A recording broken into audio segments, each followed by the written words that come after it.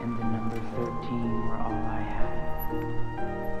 Who the people around me were, what they wanted, or what they were trying to do, I had no idea.